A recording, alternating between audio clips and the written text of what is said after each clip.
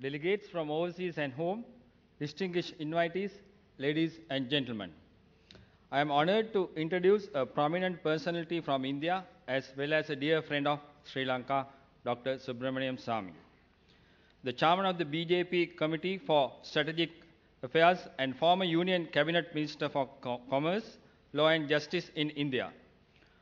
Known for his candid expression of matters pertinent to national importance with enormous grip of history, Dr. Swamy is an ardent supporter of a strong India Sri Lanka relationship. I am certain that his insights on this aspect after the new government of India will be beneficial to all. Dr. Subramanian Swamy is a renowned economist, a recognized politician, and a well noted foreign policy expert who has played a major role in India's political affairs in recent years. He is presently pursuing many public interest litigations in the Supreme Court, High Courts, and other courts in India to expose corruption of public officials.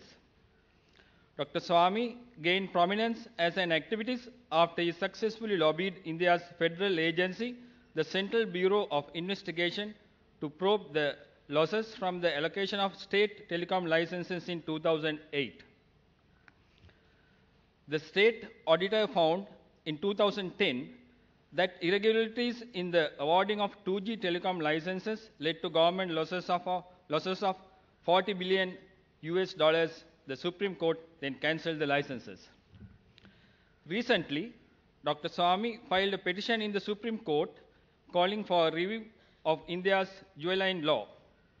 His petition was against a juvenile, uh, juvenile accused in the gang rape and murder of a young woman on a moving bus in New Delhi last December, an incident which sparked nationwide outrage. Now, the new government of Honorable Prime Minister Narendra Modi has adopted his suggested amendments and has introduced a bill in Parliament. Dr. Swamy was head of the Janata Party till 2013, which had formed the first non-Congress central government in India with Sri Morarji Desai as the Prime Minister in 1977, until Janata Party was merged with the Bharatiya Janata Party, which formed the government in India during 1998 to, to 2004, and now in 2014 with absolute majority. If I elaborate little more, he has been elected five times to the Parliament of India during the past. It was three times to the Lok Sabha, which is the lower house of Parliament, and twice to the Rajya Sabha, which is the upper house of Parliament in India. He worked as the Cabinet Minister of Commerce and Industry as well as the Minister of Law and Justice in the early 1990s and served as a member of the country's Planning Commission, which was the government think tank. Born in Mylapore, Chennai, after his secondary education, Mr. Swamy attended University of Delhi, from where he earned his bachelor degree with honors in mathematics. He studies for his master's degree in statistics at the Indian Statistical Institution. He has scholarly credentials, having earned a doctorate in economics from Harvard University, where he taught for many years. He was also professor of economics at the Indian Institution of Technology in New Delhi. Dr. Swamy is a prolific, write, uh, pro- prolific writer in his famed focus areas. He has authored several books such as Indian Economic Planning and Alternative and Economics Growth of China and India, as well as a considerable number of imperative articles and research papers. He is considered as an expert on the Chinese economy and has visited China on numerous occasions as a guest of the Chinese government, various think tanks, and universities for sharing views and delivering lectures.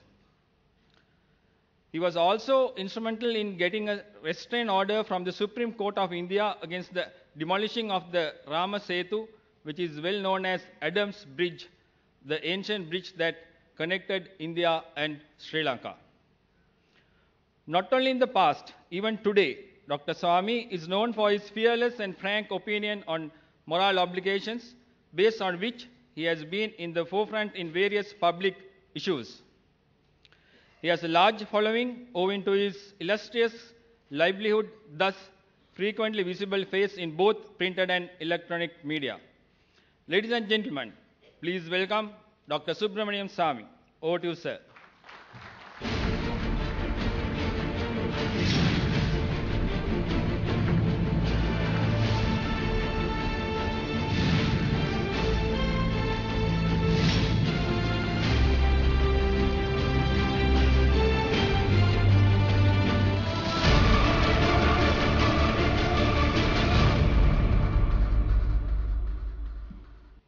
Thank you very much. Distinguished uh, government leaders, distinguished delegates to this uh, tremendous conference, I'm deeply grateful to the government of Sri Lanka and to the military in particular for this opportunity to address you in the concluding session. I also would like to begin by recalling that today, the 20th of August, is um, the birthday of Mr. Rajiv Gandhi, who is a very close friend of mine. We were allies, uh, both his party and my party were allies in the late 80s. I don't have a good opinion about his wife, but I do think very highly of him. And uh, he laid the foundation, formal foundation, of the Indo Sri Lanka relations through the pact he signed with President Jayawardena.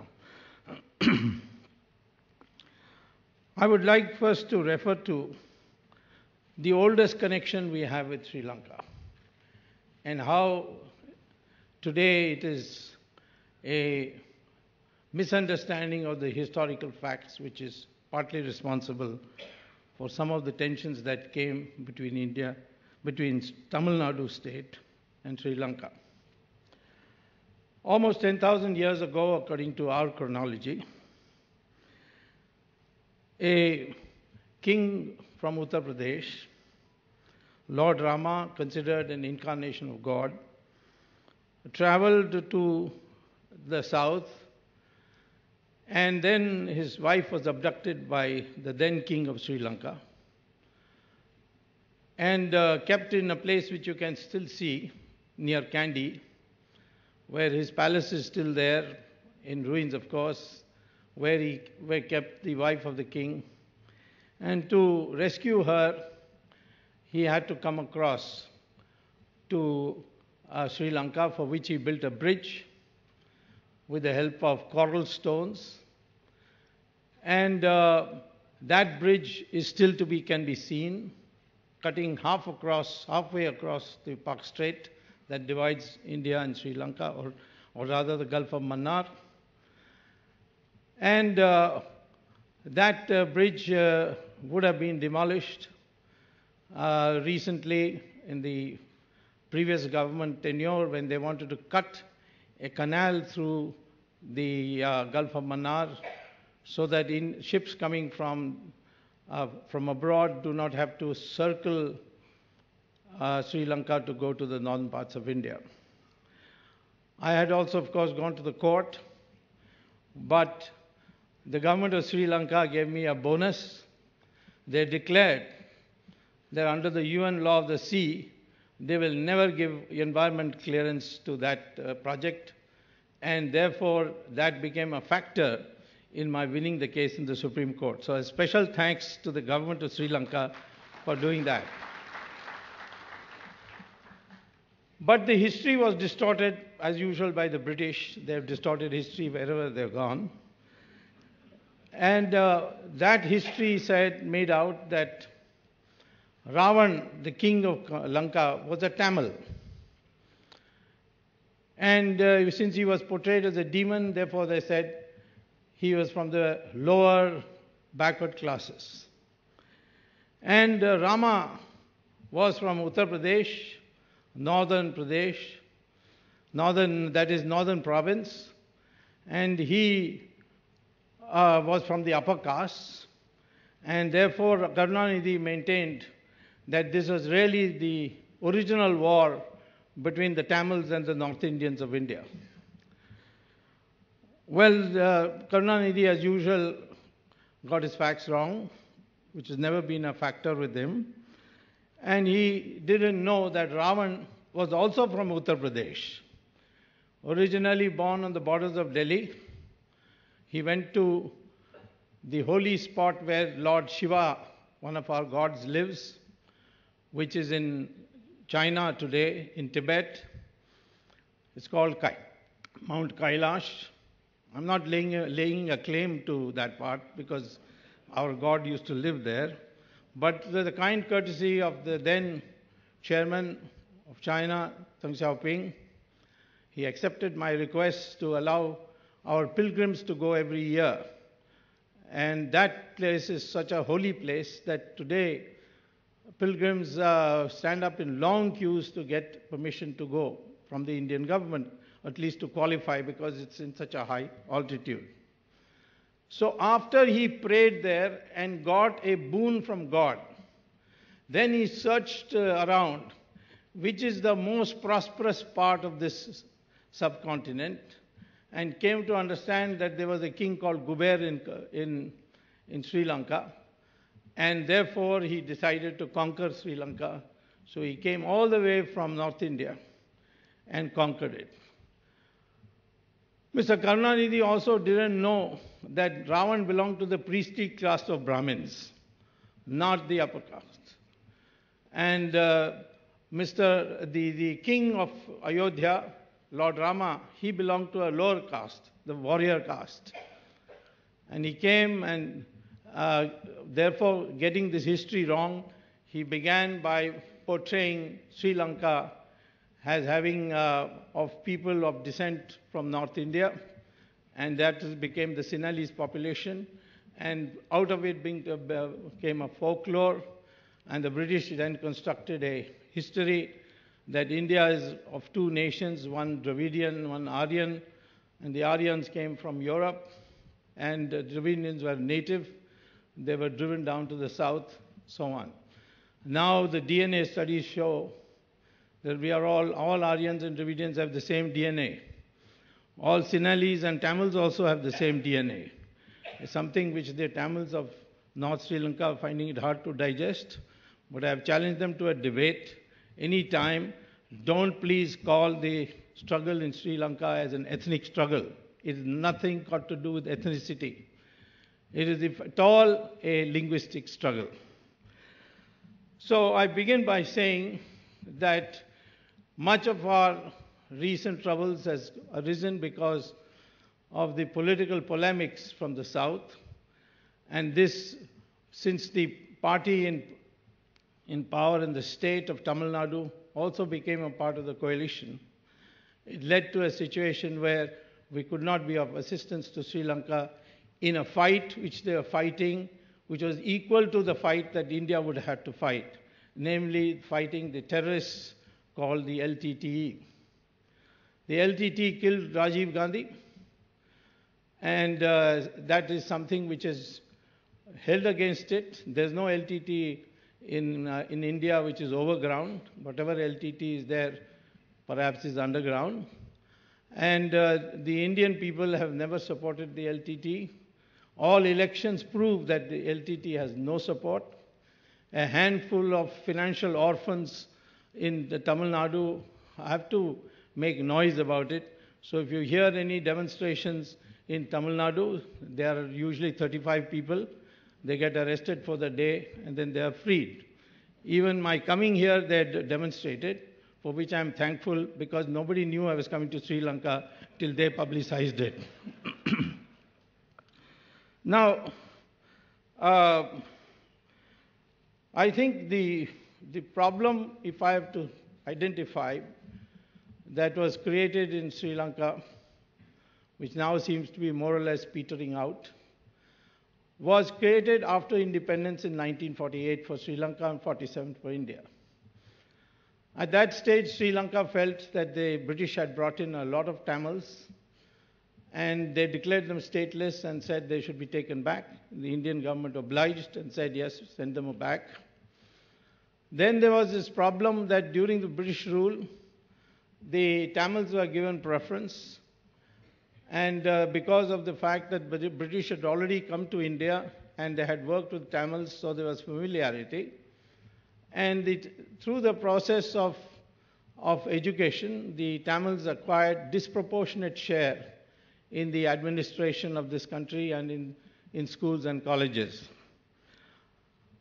When uh, Sri Lanka got its freedom, 75% population being Sinhalese and a underprivileged lot because of the circumstances of British rule, they decided to rectify that, and perhaps they over-rectified it, led to uh, agreements between the Tamil leadership and the Sinhalese leadership, which was broken, and ultimately uh, some people convinced the Tamil population that the only way to struggle for your rights is by militant uprising.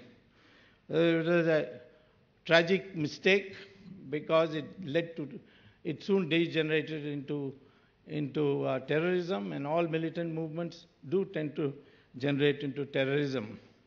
So that ultimately led to the assassination of Mr. Rajiv Gandhi. We, Mr. Gandhi always regretted, and he told me that my mother made a mistake, Mrs. Indira Gandhi made a mistake in training these militants. I think. Mrs. Indira Gandhi was sometimes motivated by personal likes and dislikes in political affairs, and she had a deep dislike for Jayawardena, who was president at that time, probably because he defeated her friend, Sirimavo Bandaranaike. So therefore, she was uh, hell-bent on somehow bringing him down. And she even went to the extent of once declaring that Jayawardena was elected with the help of the CIA. The CIA gets undue credit for work which it never does. But nevertheless, that is the extent to which he went, which is most undiplomatic thing to say. But uh, the process, she encouraged the development of militants. And these militants then turned into a single militant organization because the leader of the LTT killed practically all Tamil leadership. In fact, if you look at the, the, the number of people killed by the LTT, they killed more Tamils than they killed Sinhalese leadership. In fact, all democratic leadership that had grown in Sri Lanka was eliminated by the LTT. And of course, all rival organizations were also eliminated, and they emerged as a sole uh, organization. And it took, uh, there was a lot of uh, hesitation on how to deal with it, largely because of international do-gooders who came to Sri Lanka and prevailed on them to negotiate with the LTT. You can never negotiate with a terrorist organization. The LTT, the Sri Lankan government, under international pressure, agreed. And having agreed, uh, they came to grief. But in 2005, I think the present president came to power, and then he took this historic decision, fight to the finish, and eliminated the LTT. There was a heave of sigh of relief in India, and this is also demonstrated by all by the fact that every election since 2009 in India, those who support the LTT directly or indirectly or in camouflage are recognized by the people and defeated. This time, too, all the proponents of strong action against Sri Lanka have been defeated in the Tamil Nadu election. I'm not talking about the rest of India. Rest of India, they don't exist. And, uh, and the government of Mr. Narendra Modi now has made it clear that we'll have normal relations with Sri Lanka and we'll try to develop it further. So as a first act amongst the South Asian leaders he invited, much against the vocal opposition of a minority, very small minority, he invited the president of Sri Lanka to be present in the oath-taking ceremony.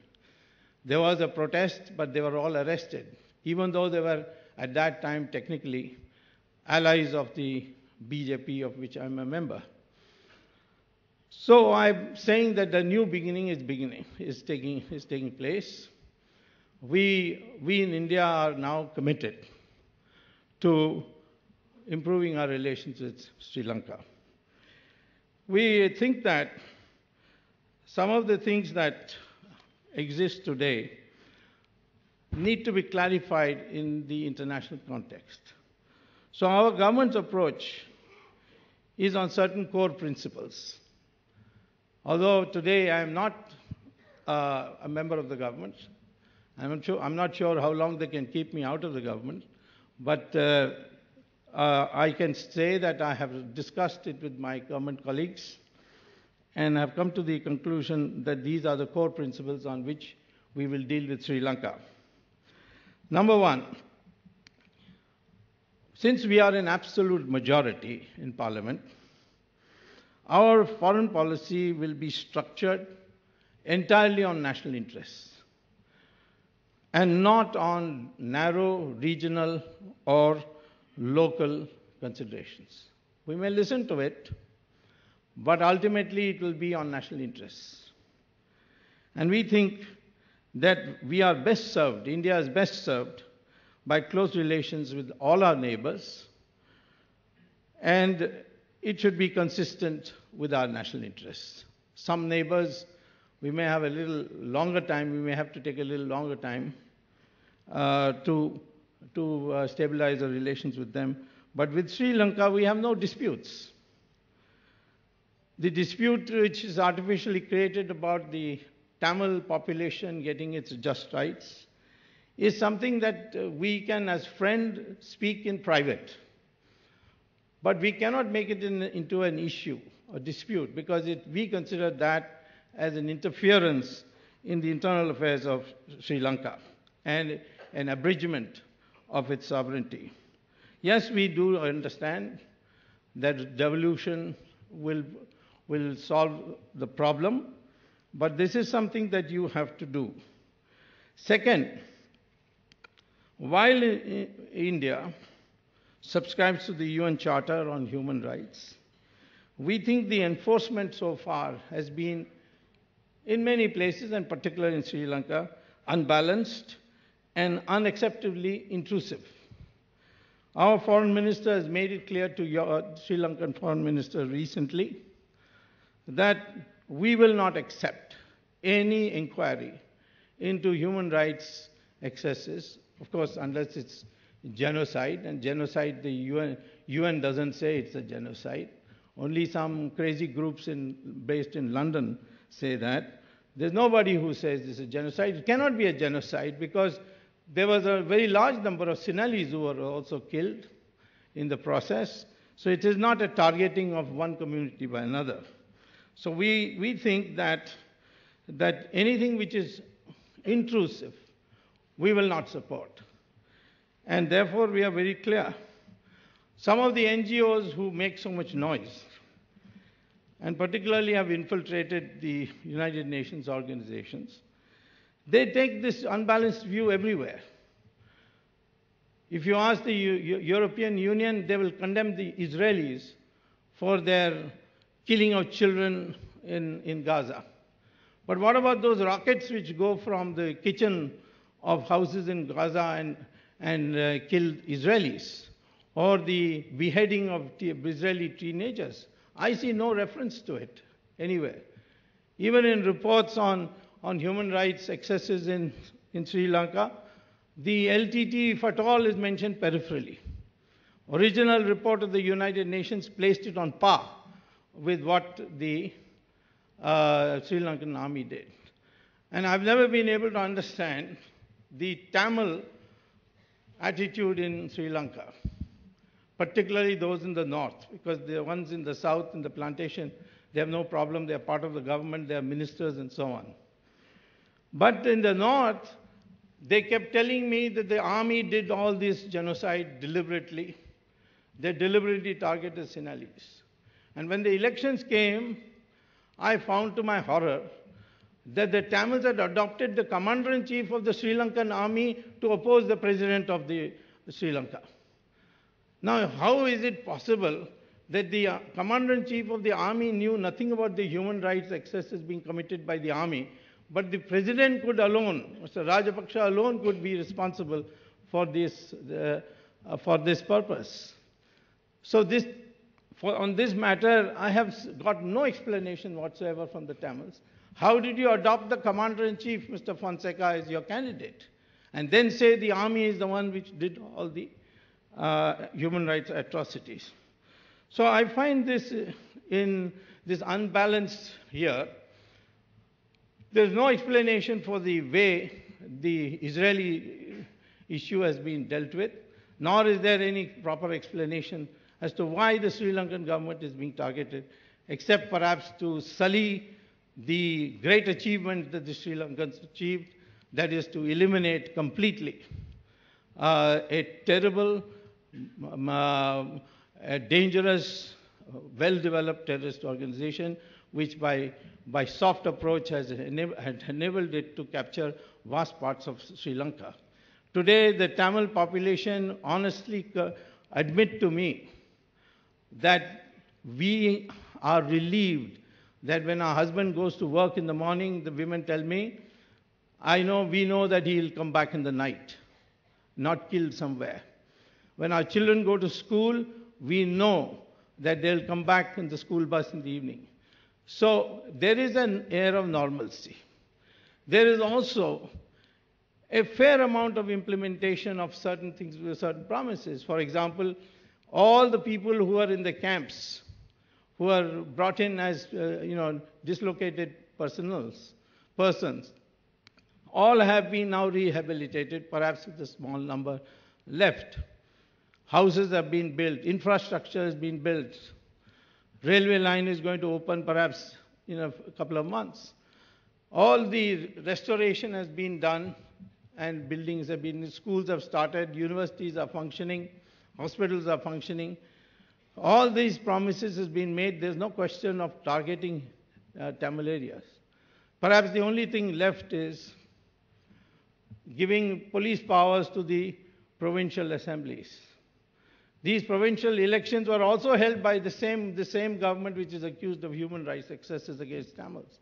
No previous president thought it worthwhile to hold provincial elections in Sri Lanka. But they held it and lost the election. It is not that they were expecting to win. They, the president himself was advised that were, he would lose the election, but he said this has to be done. And the elections were held, a chief minister was elected. When the president was invited to India, he invited the chief minister of, uh, of uh, the northern province of Jaffna also to accompany him. We were all looking forward to hearing from him. And then we got a surprise. The chief minister said, I will not travel with the president. I mean, he's not a president of a foreign country. If this is the attitude, then what will we think? We want to know why the chief minister declined to travel with the president to India. This means that even today, the psychology that is being built is that the Tamils should regard themselves as a separate community. We, we, we in India don't appreciate it. We don't appreciate any internationalization of any community. We also, uh, in fact, speak to our Muslim population to say, we support Israel, we have good relations with Israel because Israel has been giving us not only good weapons, but they have also been giving us good intelligence on terrorism. We have no disputes with Israel, and therefore we are going to have normal relations with Israel. And the Muslim community should support it in the Indian national interest, not because Islam is under threat from the, from the Israelis. The same way we say to the Tamils here that we, we have cultural links, but ultimately the policy has to be done according to the sovereignty of Sri Lanka. And therefore, I am surprised that there is any expectation from the people in Tamil Nadu, uh, Tamils in, in Sri Lanka that Indian government will come to their defense. Indian government will not agree to any internationalization of any of our domestic communities. We think it's bad for us, and we think it's bad for nation states. So therefore, I would urge the Tamil community, I myself being Tamil, I'm from Madurai, which is supposed to be the seat of Tamil culture. Most of the leaders, the pro-LTT leaders in Tamil Nadu are not from Tamil Nadu. Mr. Karunanidhi is from Andhra Pradesh, another province. Mr. Vaiko is also from Andhra Pradesh. At home they speak Telugu, they don't speak Tamil. And they give me lectures on being Tamil. Mr. MGR, who was the chief minister, was from Kerala. And I can tell you, if you really look at the history, the northern Tamils did not come from Tamil Nadu, they came from Kerala. Because you can see from their food, their accent, it is all Malayali. They spoke, they speak Tamil because the Tamil kings came across here from Ramnad and occupied northern parts for some time. So therefore, this factor is in our mind that we neither will accept the Christians or the Muslims or the Tamils or anybody to have an international outlook, to place international interests above national interests. And therefore, Sri Lanka will also be in that framework. It is also in India's interna- international interest to follow policy that does not create a power vacuum in this region. This is a very important region. The Chinese delegate appropriately talked about the importance of uh, the speaker before me, uh, Mr. Wei, they spoke eloquently about the importance of the Indian Ocean. Sri Lanka is strategically located. And to have uh, a situation where we become hostile to Sri Lanka or create an atmosphere where powers inimical to us decide to assist Sri Lanka and Sri Lanka is forced to accept their, their support, that is something against our national interests. So we certainly would not like to see that Sri Lanka has no option. That is what happened with the previous government in India. When Sri Lanka offered India uh, the building of the Hambantota port, and Mr. Karunanidhi in, in, in Tamil Nadu said, no, no, you cannot participate in any construction, constructive work in Sri Lanka. And we had the government of the day, the Prime Minister, Mr. Manmohan Singh, reluctantly had to give up constructing the uh, port on credit. It, it, Sri Lanka didn't want it done free. They were ready to, you know, take credit for it. I mean, take money or loans on credit. And when they left, the Chinese came in. And they built a first class infrastructure there. And there's a lot of grumble in India. The Chinese have come, Sri Lankans have allowed the Chinese to come. Not understanding that you created the vacuum which enabled the Chinese to come. So, therefore, I would say that we are not going to follow a policy where a neighboring country, there is a vacuum created for countries who could, who could in, in, in the foreseeable, in the future, become adversaries. Because in defense policy, you don't go by intentions. Foreign policies, yes, we look at the intention of another country. But defense policy, we always look at the capacity of other countries. And so if a country which is, uh, which is different from ours is, is almost as large or larger than us, has a capacity which is more than us, we naturally will feel threatened. And we don't want to create a situation where that, uh, that leads to a vacuum. It is also in the India's national interest to create an Asian economic pole. And that economic pole can easily come with ASEAN and South Asian uh, Association for Regional Cooperation, which is called SAARC, which contains about, uh, consists of about eight countries. Maybe with Burma coming in, it will be nine. Afghanistan is also in it.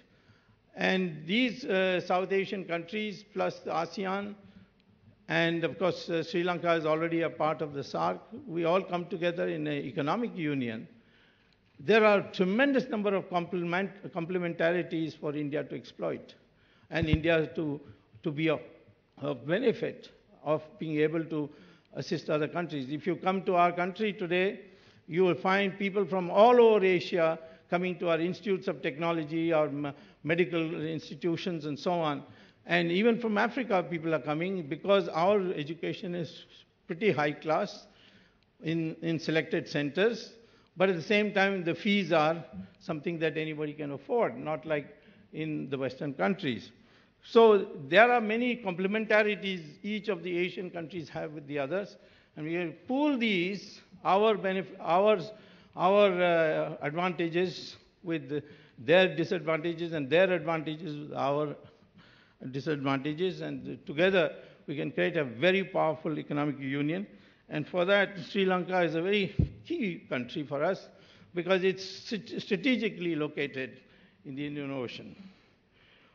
Over the years, we'll have to think about the growing piracy in the Malacca Strait, which, uh, for which much of the Asian import export traffic travels through. And there, we certainly think that a bonding of India, Sri Lanka, and Indonesia would produce a situation where India could assist in the policing of this, these Malacca Straits. I, I think this is an area where we are all proximate, and therefore it is a, we are in a position to do something about it. Malacca Strait is very, very important. It is uh, on one side you have the Sumatra island of Indonesia, on the other side you have these Indian islands of Andamans and Nicobar, and uh, these two are only about 70 kilometers apart. And Sri Lanka being a, a, uh, a, base for operations, I think it will be a very powerful policing in- instrument uh, for this, uh, this particular um, strait. So therefore, this also I think we, we think Sri Lanka becomes very important for our national interests. I would say in conclusion that uh, we, we in India are a political party which is not more of the same. No, you know, people talk about continuity. We are not going to have continuity. Recent incident with Pakistan is an, is an example of that. Earlier on, those who were for secession of Kashmir were allowed to meet the Pakistan ambassador, and particularly in the eve of talks with India and Pakistan. We were going to have talks with Pakistan, but uh, we found suddenly that all those who want to, Kashmir to be seceded from India, who don't believe in the Indian constitution, they were invited by the Pakistan High Commission. And the government of India uh, cancelled those talks that were to begin with Pakistan. Pakistan and these secessionists both said, this has been happening in the past. Why is it now, why are you now discontinuing it? Because there's a distinctively new party which has come to power. We are a party which has come to power, ironically, after years of being told that it's the minorities who will decide who will rule India. We have demonstrated today that without the minorities we can come to absolute majority. But that doesn't mean that we will not try to co opt the minority in dealing with governance, issues of governance. But it also instills confidence in us that if certain policies are followed, which may be to liking, to liking of some groups, small groups, some not to the liking of small groups, it doesn't matter. We must follow what is ideologically our, our commitment. And our ideological commitment talks about a cultural unity in, in Asia. We are all the same culturally and different from the Westerners. China is included in this similarity of culture. In fact, if you, if you were to uh, examine this cultural aspect in one uh, example, and then I'll finish my, my talk. When I came as bent as a student to Harvard to get my PhD, my classmate asked me, Could you please explain to me why the Indian people followed Mahatma Gandhi? So I said, Why? What was wrong with Mahatma Gandhi that we should not follow him? He said he was not properly dressed, he was hopelessly underdressed. And then I began thinking that I asked him, In your country, leaders have to be well dressed? He says, Absolutely. He must have the best tie, the best, best coat, his shoes must be shining. Otherwise, he will not be. In fact, he gave me the example of Richard Nixon, who went to a debate with John Kennedy before shaving. And he had the evening 5, 5, 5 p.m. shadow on his cheek. And he lost the, election, uh, the debate on that ground that he hadn't shaved. Now, this is something unthinkable for us. All our spiritual leaders, are hopelessly underdressed and in very inferior clothes. Even the president of Sri Lanka goes before a Buddhist bhikshu. You can see the same phenomenon. And uh, we have venerated them to great heights. In, in our system, those who have sacrificed, those who are spiritually minded, those who have uh, evolved, who are men of learning, they were placed above the king. And the king had to go to such people in their hut in a forest and seek their permission to declare war, for example.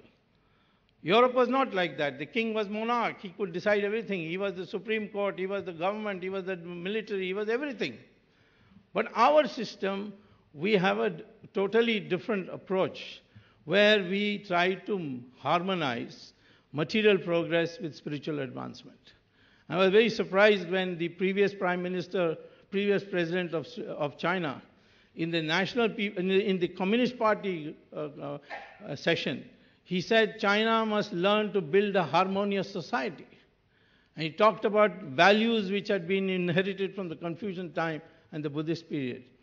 Now, that is what bonds us all together. And we think differently. And we value, we, our values are totally distinctive. And therefore, it is in our opinion that India, Sri Lanka, all the other SAARC countries which accept this value system China, uh, Vietnam, Indonesia, we all should come together as a great cultural union also. And it is for this reason we place such high priority for improving our relations with Sri Lanka. Thank you very much.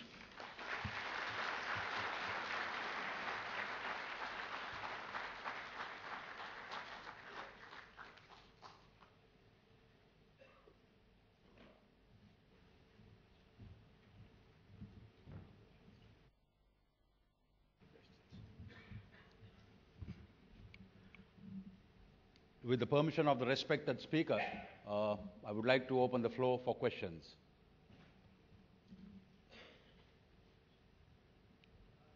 Yes, sir. Thank you very much, uh, Dr. Swamy, for such a, an extremely interesting uh, speech. Uh, my name is David Daly, and I'm the European Union ambassador to Sri Lanka. No hard feelings. And um, I just have a point of information rather than a question oh, yes, as such, which is that the European Union uh, is in fact uh, extremely even-handed on the Israeli uh, and Palestinian question. And okay. last Friday, the um, foreign ministers of the 28 uh, member state uh, governments uh, agreed again on this even-handedness, calling for um, the, a, a, durable and abiding ceasefire, um, calling for uh, all terrorists uh, to be disarmed, uh, calling for the attacks against Israel uh, to be stopped and calling for uh, the lifting of the uh, Gaza closure regime so that the Palestinians in the Gaza Strip could have a fundamental uh, improvement in their situation. And all of this is part of the wider context where the European Union supports, as you know, a two-state uh, solution where Israel can live in peace and security with its neighbors and uh, an independent Palestinian state uh, side by side. So I just wanted to bring that up as a point of information. Thank you. Uh, but I did find your speech extremely uh, stimulating and interesting. Thank you very, very much. I stand corrected, and uh, thank you very much. And sorry for any pain I might have caused you.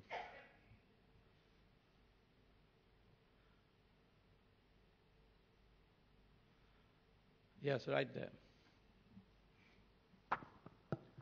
Brigadier Narayan from the Indian Army. Sir, sir we've been discussing uh, the regional and the global aspects of, and with Sri Lanka as the you know eye of the storm in the whole thing.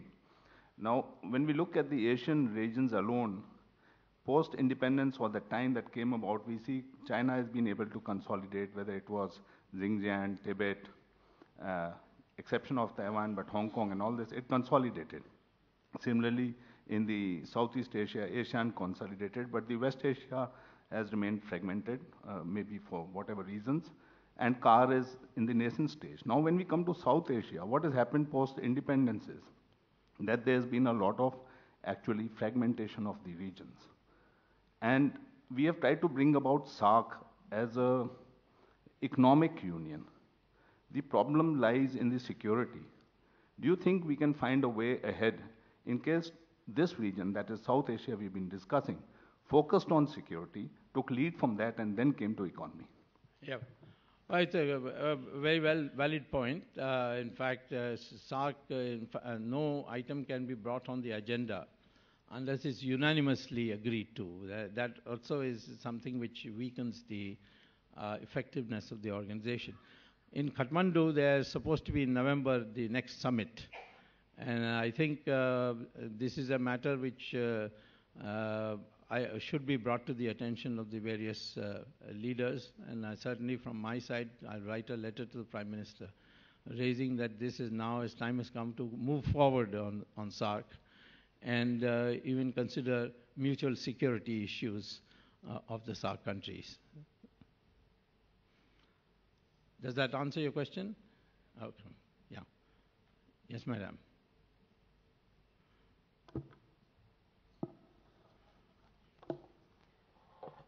Good morning, sir. I am the charge d'affaires of the Cuban Embassy, and I would like to first place a comment and then make you a question that you would like to elaborate. Yes.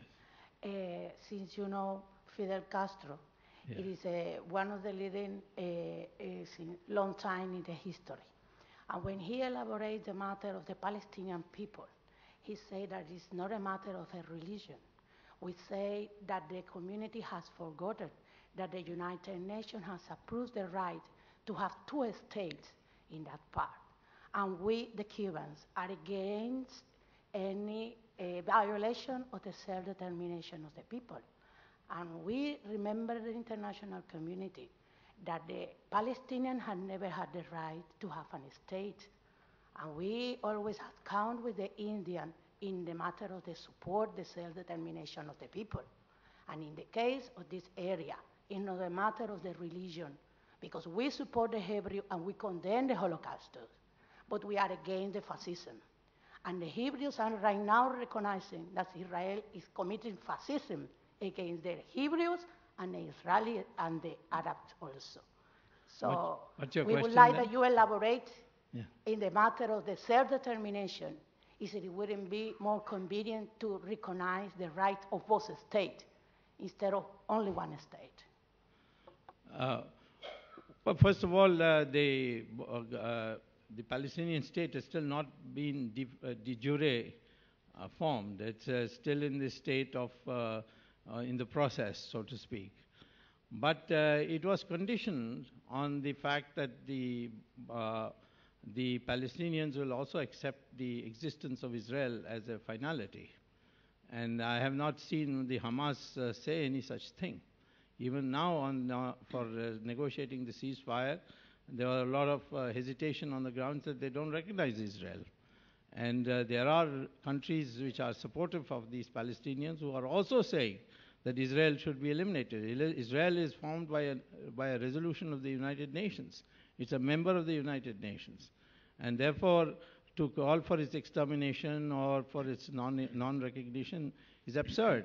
So the day the Palestinians formally recognize Israel as a state, I think then the international community would move in to ensure that the Palestinian state also becomes a de jure reality. Yes, sir. I'm Navy, Sim- uh, senior naval captain from China. Uh, you just mentioned about the economic cooper- uh, cooperation, and nowadays uh, economic cooperation uh, among the BRICS is very, very uh, and uh, developing very fast. And so, for China, we have a very long friendship with uh, Sri Lanka. We already have made some contribution for the rebuilding the Sri Lanka economy.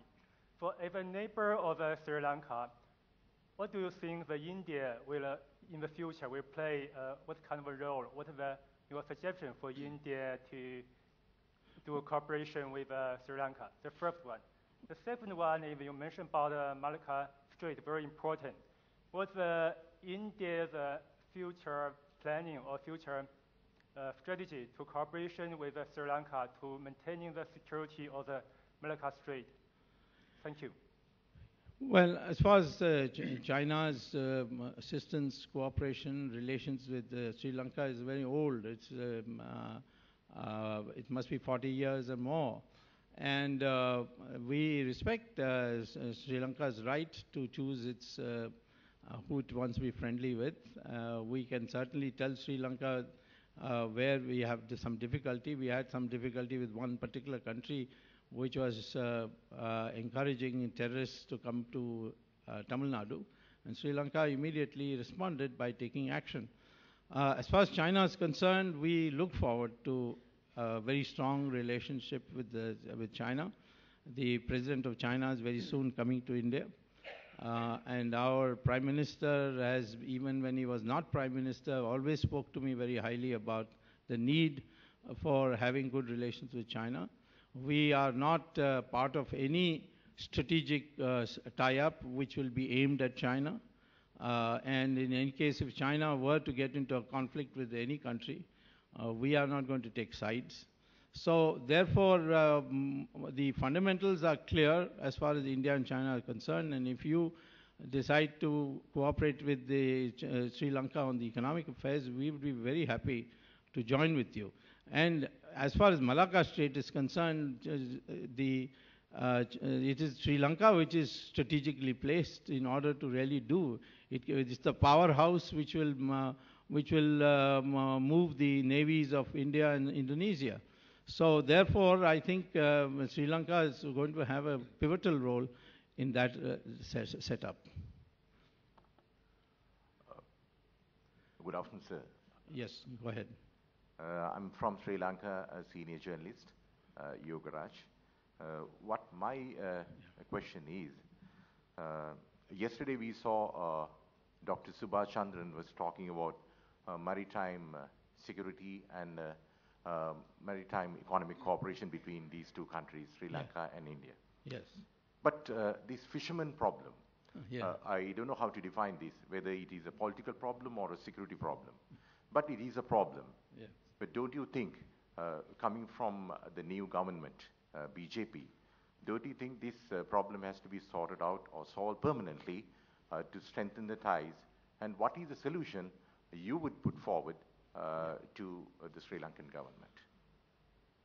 Well, the, uh, the emotional issue behind which the uh, people who wanted to wreck our relations with Sri Lanka were hiding were that fishermen come from a poor community and they have been arrested and put in Sri Lankan jail. And uh, I came, uh, met the president uh, uh, in my earlier visit, and I raised it with him, and he was very spontaneous. He said, Every Indian fisherman who's arrested will be presented in court and will be released on bail and sent home. But those motorized boats, mechanized boats that he comes in, they will not be returned. And that was a superb first step because these fishermen are not coming on their own. They are being pressured and compelled by the owners of those mechanized boats who are very rich people. Some of them are politicians, some of them are DMK politicians. So therefore, uh, I have no love lost for that. And, the, and consequently, uh, to withhold those boats and send the fishermen back, the big emotional issue has been uh, taken away now. Now the question is the poor fishermen are not able to catch good fish. Due to reckless fishing in, in, in, in the Indian side of the uh, medial line of uh, uh, Gulf of Mannar, all our quality fish and, uh, and shrimps have been exhausted. They've been already fished out. Now, the good fish, the export value fish, this shrimp, they are all on the Sri Lankan side. So, therefore, our fishermen are now being, uh, have been coming compelled by their uh, boat owners to go across to Sri Lanka and then uh, fish there. Uh, Otherwise, they'll not be able to export, and they, the- even uh, they will not be able to collect enough to cover the cost of, uh, of fuel for those boats. So we have to sit down with Sri Lanka and say, give us three years to uh, repopulate our uh, side of the ocean, and in, bet- in, in, in between, uh, you give us some permit to fish in your side. And I was surprised to find that Tamils of Jaffna were opposing this proposal. So uh, when it comes down to bread and butter issues, you can see people get divided very fast. And uh, our fishermen, for whom the, all these pro-LTT people were making so much noise in India, are, naturally dumbstruck because the, the fishermen of Jaffna, they are now putting up a protest saying, no, this is, uh, you know, poaching in our area. But we have to find a solution by talking, and I'm sure that uh, we will find it. This fisherman problem is, you can take it, is now more or less over. It's no, because there's not a single Indian fisherman in the jails of, uh, of Sri Lanka. And if they are uh, there, they are on the way out to go out and bail and return back to India. Well, one more question, uh, Yes, uh, sir. Sorry to interrupt you again. No, no.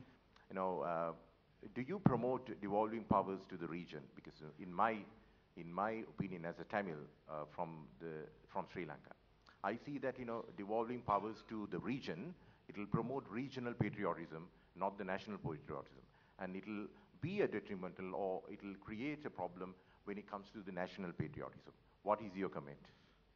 Uh, you'll have to say that question again because I think I misunderstood you. Yeah, what is it you say? Do you, uh, your, your BJP government, do you, in other words, in the 13th Amendment or the devolving powers to the region, Yes. do you, in Sri Lanka, do you promote uh, devolving powers uh, to the regions uh, in Sri Lanka? So We- my, my opinion is that Yeah, yeah, I understand. Uh, See, we are no one to promote it, but it's a widely accepted constitutional principle that when you have different, th- th- there are no ethnic groups in Sri Lanka. There are linguistic groups, but one is a minority linguistic group, one is a majority linguistic group. So where you have to accommodate, you you have uh, provinces and they have devolved some powers. And from what I have seen of 13th Amendment, most of the important uh, amendments have already been incorporated. What is, what is now the bone of contention is these police powers. First of all, let me tell you, we have some states in India where we have not given police powers for special reasons. For example, the state of Delhi, uh, uh, with the capital re- region is uh, being converted into a state. We don't give police powers to that state because it's uh, meaningless to have uh, a uh, central government and a state government having two different police. So we decided not to give, and there's no no protest on that. In the case of Sri Lanka, I think the police power issue should be solved last, because I would like to see, uh, and I'm saying this as an Indian, and uh, and I'm sure that 90% of the Tamils uh, agree with me, that the Tamils of Sri Lanka should demonstrate that they don't regard themselves as a separate community. Their behavior, I'm sorry to say, in the elections show that uh, they vote on the basis of purely that community interest. In our own country, I kept saying to my friends in the Muslim community, amongst the, uh, the intellectuals, that if you as a community vote against our party, it will be what will happen is one day the Hindus will decide that they will unite, and then you, you will become irrelevant. You will become irrelevant for everybody, including those who are today promoting you. And that's exactly what has happened. The, there was a Hindu consolidation this time in the elections, and Hindus are 80% of the population. And it was not all, I mean, only about 30% consolidated. And that consolidation led us to absolute majority. And if that grows, then we'll get two thirds majority next time. So in Sri Lanka too, the president of Sri Lanka is able to win without Tamil votes. In my opinion, that is bad for the Tamils, not bad for the Sinhalese. In my opinion, you should become a stakeholder in his election or anybody else's election. And the Tamils should vote on the basis of who can deliver goods to you. And there I should say that the Tamil leadership has totally failed. They have kept them as kind of hostages, these voters. They have even threatened. Even today, I hear stories about how uh, people get threatened if they take a line differently. I'm told the chief minister didn't, was uh, originally inclined to come to India, but then he was uh, uh, uh, enormous pressure was brought on him not to go. I hear this all the time. I have large number of friends amongst the Tamils in, from Jaffna. They meet me here, and they come to India. They meet me. They say this. This is a factor, and therefore my view is that the devolution will take place. This is my prediction. I'm not saying that we are in a position to do anything about it. Will take place when the Tamils start voting strategically and not on emotion. Dr. Swamy, thank you so much for your um, presentation. Where Uh, are you? Right here. Yeah, right, okay. Oh, yeah, you're from our favorite country, Afghanistan. Yes, that's, uh, that's right. Um, I, like I had mentioned yesterday, that we need to start taking some, and we have, but uh, continue taking regional and creating regional responses to some of the economic, but more so some of the security challenges, both the known and the unknown challenges that we think we're going to uh, foresee in the future. Um, we talked about um, uh, what was mentioned yesterday about some of the spillover effects uh, that Afghanistan could potentially have for the region. But I also mentioned that there are various spill-in effects. Some of these spill-in effects um, are, are regional proxies, regional conflicts between various countries, like for example India and Pakistan, that have affected Afghanistan and will continue to. So from Afghan side, we're, we're looking at, yes, what is happening in Afghanistan post-2014 in the region, but also how will the region impact Afghanistan post 2014? So, in this regard, Afghans look at India as sort of the big brother of South Asia, and we've always had such strong ties. but now, with the new government in place, um, Yeah. what I wanted to know is what is India, what concrete steps is India doing to address and mitigate these spill in effects? Thank you. Well, when you were giving the lecture yesterday, I was tempted to ask you this question myself. Uh, now you asked me. Uh, well, you see, we have very strong links with uh, Afghanistan, even historically. In fact, the Mahabharat, uh, the, all the troublemakers in our society came from Afghanistan at that time. And uh, uh, Shakuni, who was uh, uh, governor of Kandahar, was the one who was, was the evil man who plotted the whole division in one family and caused a huge war, uh, which led to a lot of bloodshed and so on. So we have a very soft corner for uh, Afghanistan. Uh, we are not sure as to what Afghans themselves want. Because so far the Afghans have fought fiercely anybody who's come from outside, whatever their intentions. Whether it was the British first, then the Italians, or, and then the Russians, and now the Americans. But uh, we have, uh, Afghan, uh, your president was educated in India. Your foreign minister, um, who was, was slated to be president, I don't know what's happened to that election. He was also educated in India. We have Afghans uh, all over India. Uh, they, we, we don't recognize them very differently from ourselves. If the Afghan, if we got the impression that uh, Afghanistan is amenable to India's uh, concrete support on the ground. We would be, we are inclined, but we know what we will be getting into. We know that uh, Pakistan is not in favor. But of course, Pakistan has to soon decide who the civil society is, because the, presently the civil society doesn't seem to have power to uh, control the more militant sections and uh, the, uh, the intelligence bureau of, of that country. Uh, I may be wrong, but this is the assessment given to me that the civil society is under siege. And I think one of the leaders of the movement of Mar- the march that has taken place has said uh, by Friday the Prime Minister must quit, uh, Mr. Nawaz Sharif. So it's an unresolved question in Pakistan if whether Pakistan is going to become more militant, it's going to become more Taliban, uh, then a whole new situation arises. Secondly, I think we, we need to interact with China on this because after all, Xinjiang is also suffering uh, because of uh, militants uh, being trained in uh, in uh, in the in west of Xinjiang and using the route through Karakoram Pass, uh, Pass to come to Xinjiang. So therefore, I think China and, and we have a common interest. And I think we need to enter into a dialogue with China on what to do once the Americans leave uh, uh, Afghanistan. And the planning should start now. But uh, we, are, we are very well disposed to Afghan, Afghan people, Afghanistan. And um, uh, if we could get some indication, concrete indication from Afghanistan that they would like us to be more activist eh, despite opposition from anywhere else, uh, then we would certainly like to do this in, uh, uh, in, in joining with China on this issue. Thank you. Yes, sir. Sir, uh, I am Brigadier Fayaz from Pakistan, Yes. and uh, being no politician, a plain military man, I would uh, Ye- talk very plain. You're no politician, you did you say?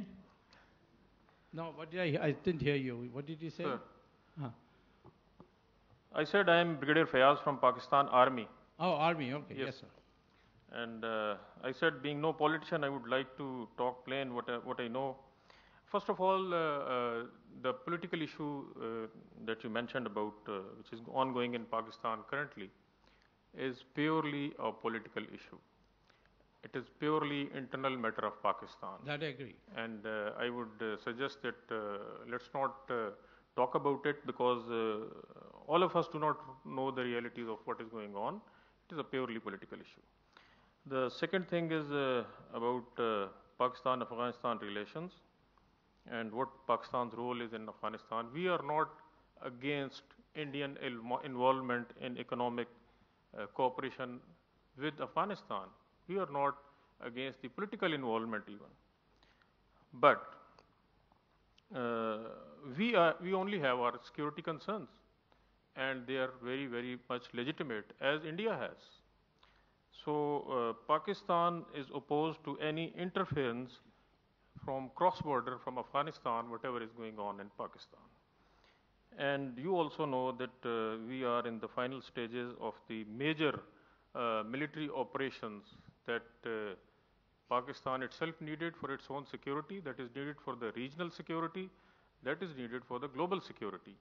And uh, it has almost succeeded. We are very close to that. As far as uh, one more issue that you touched upon, uh, Kashmir, uh, sir, uh, I agree it is uh, the, the, the state, it is Indian government's decision and uh, to cancel the talks. But I would suggest that uh, uh, perhaps uh, this is the major issue between the- our two nations, which needs to be resolved. Yeah. And it will only be resolved through dialogue. And dialogue, whenever we get an opportunity, opportunity, we must seize. Thank you, sir. Well, first of all, I, I assume that Afghanistan also has a say, no? If Afghanistan uh, decides that India should come in in a more comprehensive way, uh, would it be fair for uh, another country to say what Afghanistan should think? I mean, that's the issue uh, with us. We, we deal with Afghanistan bilaterally. Uh, we are no one to tell Sri Lanka, for example, don't have the Chinese here, don't have the Pakistanis there. We don't tell them. We can't. The, Chi- the Sri Lankans won't even listen to us. But I'm saying that if Afghanistan feels vulnerable after the Americans leave uh, and wants uh, some guarantee and feels comfortable asking India, uh, I'm sure that uh, a, a civil society, flourishing civil society in, in Afghanistan would be in the interest of Pakistan also. I agree what are the developments in Pakistan are internal affairs. But if the prime minister is, uh, is uh, told to resign and there's a siege there, we who have uh, our people there as ambassadors and uh, high commissioners and so on, and we have been in the process of seeing whether we could ha- have some talks. We had the Pakistan Prime Minister come for the uh, oath ceremony of the Prime Minister, uh, we have a right to be concerned because who are you going to deal with? If Mr. it's not going to be Nawaz Sharif, is there going to be a military rule? Is it going to be um, uh, a religious uh, cleric rule? Who's it going to be? That we need to know. I'm not saying you, we are going to decide who it should be. We are not asking you to decide according to our likes and dislikes. We are saying that we, it is of interest to us. Finally, you see, on the Kashmir issue, we are not Congress party. We are a different party altogether. We have certain commitments we have made to our party workers, we have made commitments to the electorate. And that is that, and we are committed to a parliamentary resolution, which was passed surprisingly by a Congress government, but headed by Narasimha Rao, who's disowned by the Congress now. And that was that Kashmir is an integral part of India. And every part, including the part which we say Pakistan is illegally holding, has to be retrieved. That is the, our policy on Kashmir. If we can get that by dialogue, we'll be happy. But if we have to use other means, well, we have, will not rule it out. Yes, ma'am. Uh, thank you, sir. Uh, I'm Colonel Li Xiaolu from National Defense University of China. Uh, I'm very glad to hear you say that uh, China, India, and uh, other nations and Afghanistan can cooperate to realize regional security. Yeah. Because uh, just now I'm a bit uh, concerned when you talked that uh, um it's not in India's interest to have a power vacuum uh, in uh, the region, and you gave the example of the of China got in uh, to, in the building of the Hambantota port, and uh, you, you suggested India and other nations may feel uh, threatened. I only want to assure you that. Uh, uh, our intention is not to compete for power and influence over the region with India.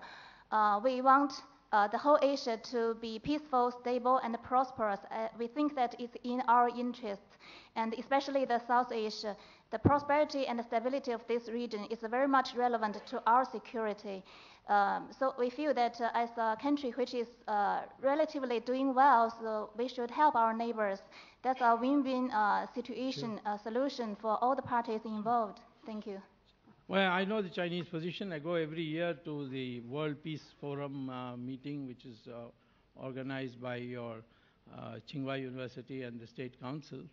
And um, uh, I have many, many Chinese uh, friends, both in government and the universities. I know your view. Um, you are for peace, you are for uh, harmony, and all, all that. we, we are also for it. But I'm saying that we will not like to enter into Afghanistan without the uh, cooperation or the willingness of China. In other words, we are, this is an area where we think that both of us have common interests. This is our view.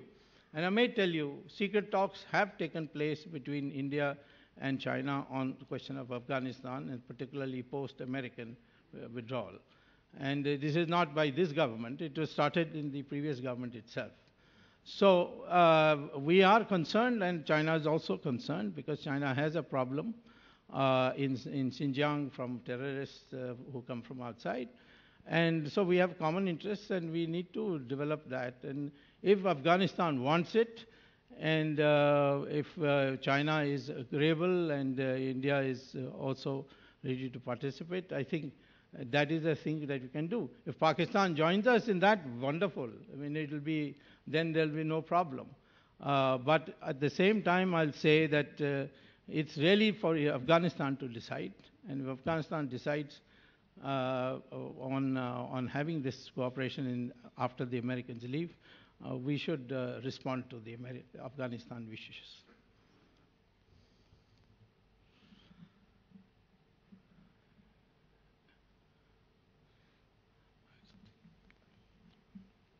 Don't see anybody else. There is one Yeah, there's one more, yes. Thank you for the wonderful analysis on the historical background and the logical, how India is thinking logically about foreign policy and the, especially with Sri Lanka. Now there's a new world going to come up, just like our rising nation, it's a rising Asia also. So your country is going to play a very big role and you're going to have a much more bigger leadership role in the region and globally. So the digital world and the world with a, a clean environment and so on, could you give us a little bit about the future of leadership of India in the digital world and the Yeah. cleaning world and environment and so on? Well, I uh, recall a very interesting comment uh, of the then uh, President uh, Rongji of China, who said uh, China is a giant in, uh, in hardware and India is a giant in software, and we, we two get, then we'll take over the world. Well, um, no, I mean, he didn't mean literally, physically taking over the world, but he meant in, in software. I think uh, this Asia is full of talent.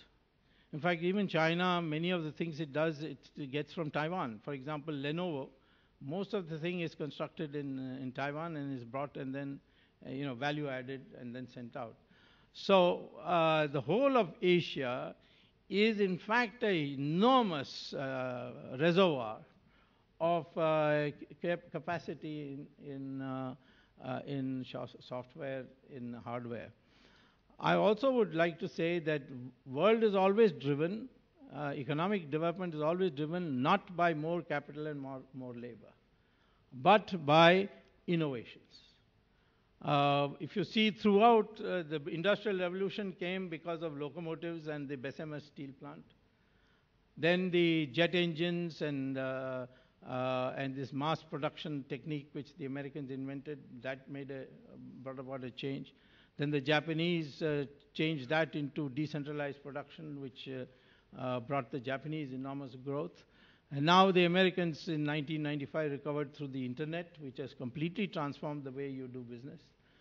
In future, it will be perhaps uh, uh, hydrogen fuel cells for uh, automobiles, um, uh, use of shale oil, and uh, innovations are the key thing. And here, Asians are in in in uh, sitting on vast reservoirs on of, of talent and young population. In our own population, uh, somebody mentioned about Malaysia, but our uh, India, 70% of our population is under 35. And uh, so we have a highly, a very young population. If they could be given good education, top level education, they become innovators. We can, China is already doing it. Uh, Singapore, being a small country, but is now uh, become a great center for electronics. So I think uh, Asia is, in my opinion, not only software, but actually going to be the uh, technology, uh, technological cutting edge of the future.